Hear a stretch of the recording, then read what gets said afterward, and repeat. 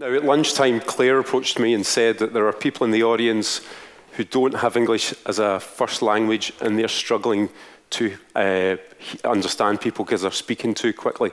I had no idea that why she decided to approach the Scotsman. The good bit is, though, I'm from Glasgow and English is not my first language either. so, as retrievalists, this pre hospital scene is the type that we all aspire to. It's calm, it's controlled, it's safe, and effective clinical care is flowing. The performance of this team is following the Yerkes Dodson stress performance curve.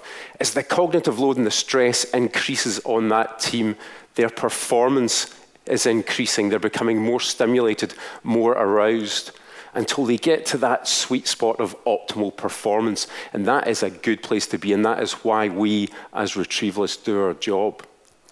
But there's a problem. Our cognitive capacity is limited, and it's easy for us to become overloaded and for our performance to become compromised. And we can become so cognitively overloaded that we actually become unsafe. This is a pre hospital scene with a team from Glasgow 30 years ago who have become so cognitively overloaded that clinical care is compromised and safety at that scene is compromised.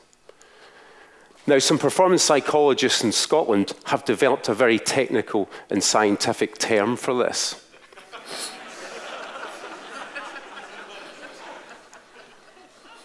so, what we want to do with our teams is we want to keep them on the left side of the curve before they get to the patient. So when they do reach the patient, they can move into that sweet spot. So we need systems that keep them on the left side of the curve, and if they do move into the right side of the curve, to get them back into the sweet spot. So ideally, we want our teams with a completely clear cognitive bandwidth, a full capacity when they reach the patient to use all of that cognitive capacity to think about the nuances and the clinical challenges of that individual patient. But unfortunately, if we've got poorly organized systems, a lot of our teams have got a lot to think about even before they get to the patient, and it's inevitable once they get there, they're going to be overloaded and performance is going to be compromised. So, what can we do? The problem is, is that every retrieval is unpredictable, and therefore cognitive overload is a huge risk.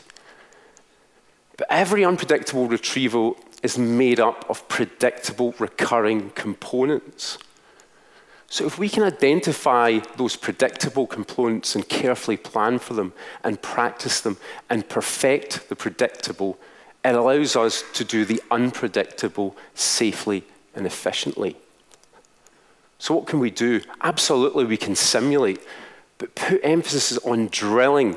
Look at your set pieces pre hospital anesthesia, blood transfusion, packaging, and turn those into system one, intuitive, automatic thinking that doesn't take up a lot of bandwidth. Give our team standard operating procedures and guidelines, but don't just write them for the sake of writing them. They need to be short, they need to be didactic, and they need to be unambiguous. And when you're writing them, think of the least experienced member of your team at two o'clock in the morning when they are performing under pressure. We need to give people access to cognitive aids, especially for high risk procedures that are done uncommonly. Our services might be picking up patients from dozens of referral centres and taking them to numerous hospitals to receive definitive care. Each of those have got different clinical capabilities, different landing sites, different phone numbers. That can easily cognitively offload us. Giving our teams access to electronic location guides can be hugely helpful. Cognitive aids for numerical calculations Cognitive aids for pieces of equipment that are not intuitive. Cognitive aids for pieces of equipment that fail how to troubleshoot them. And for sudden patient deterioration in the same way that pilots have caption cards.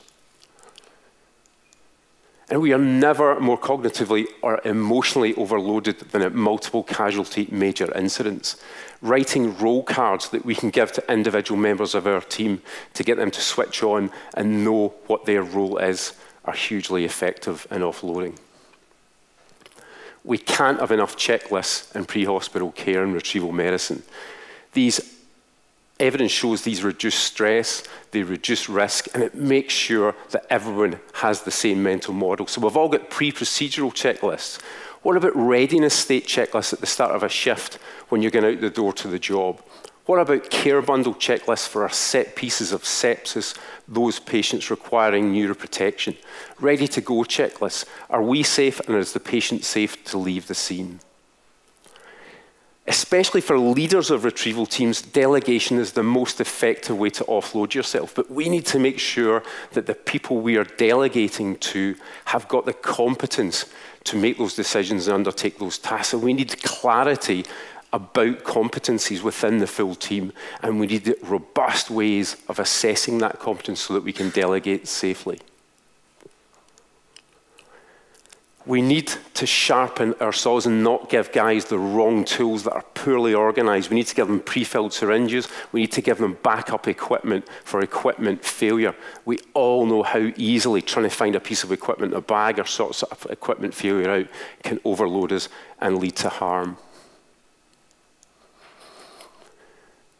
Our teams need to have insight and knowledge about how problems with communication and behavior can put us onto the right side of the curve. And similarly, they need to have solutions through communication and behavior that are going to bring us back into that sweet spot of optimal performance. We need to control our environment. Darkness, heat, cold, even midges, feeling unsafe can add to stress and can push us rightwards. And this is in Scotland. We invest a lot in giving our guys the right personal protective equipment for optimal performance.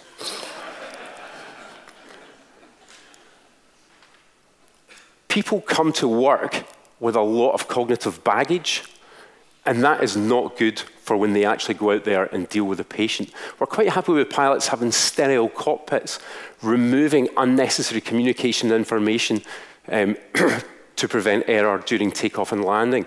We should maybe adopt the concept of having a sterile retrieval shift and getting rid of all that baggage.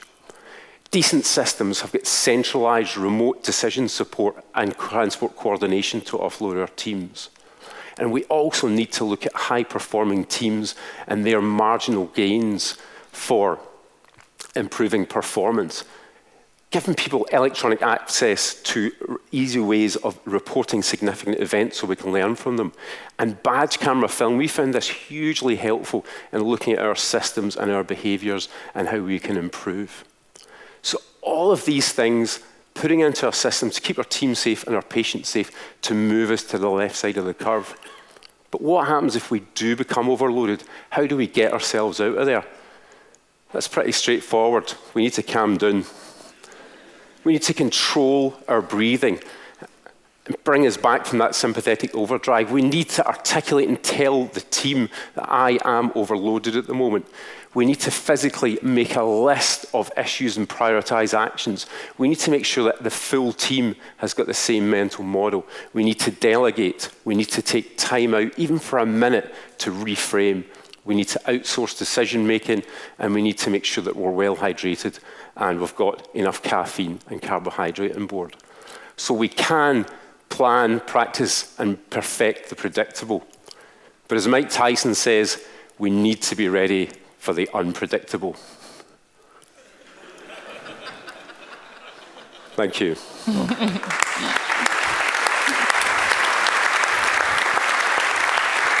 don't go, don't go, stay. We're going to go to Twitter for some questions. Stephen Harns. Can you riff more on marginal gains? So, which marginal gains that you've employed in your service have had or translated into the greatest changes in patient outcomes? Um, really, particularly with regard to RSI, we're actually only permitted at the moment to film emergency anesthesia. Um, and with regard to organisation of equipment, moving on to pre-filled syringes, um, we've actually managed to save eight minutes uh, on scene for every emergency anaesthetic by having um, dedicated uh, the way we've laid out of equipment and moving on to pre-filled syringes. So does that mean uh, every intubation is with ketamine? Uh, just about.